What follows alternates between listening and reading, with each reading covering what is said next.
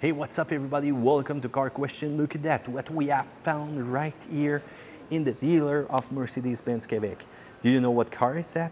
It's a 280 SE, one of the vintage Mercedes-Benz that you will find around, but it's probably one of the most beautiful condition, one mint condition that I saw uh, over a long time. Look at that, look at that car with the chrome, with the wheels. This one is really in a unique shape. Wow, look at that, even inside the wood back in those days. You can swear it was real woods, but when you look at that, even the top, wow, I really like the condition of this car right now. Do you like vintage car? And look at that logo popping out right there of the hood. Incredible. It's so in good shape. Even, even when you look under the car, you can see it's in immaculate condition.